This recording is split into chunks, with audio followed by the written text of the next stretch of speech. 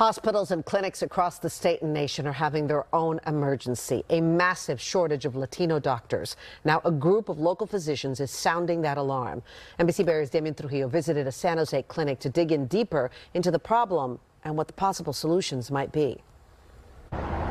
Health experts tell me this has been an ongoing issue for years. There's been a shortage of doctors in general, but Latinos are at the top of the list.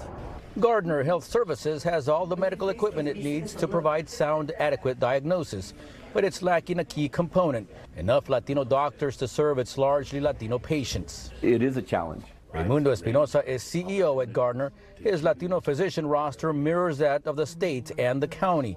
In California, only 6% of physicians are Latino, according to the latest research out of UCLA.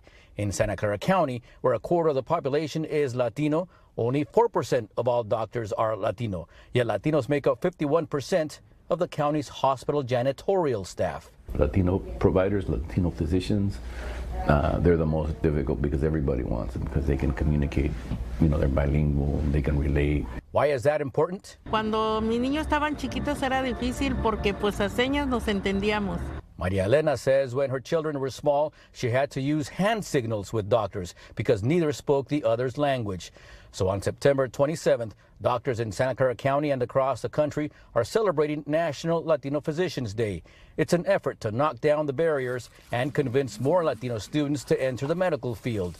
They realize the road to a meaningful solution is a long one. They basically said that it would take, uh, we would need 54,000 uh, more physicians to reach parity.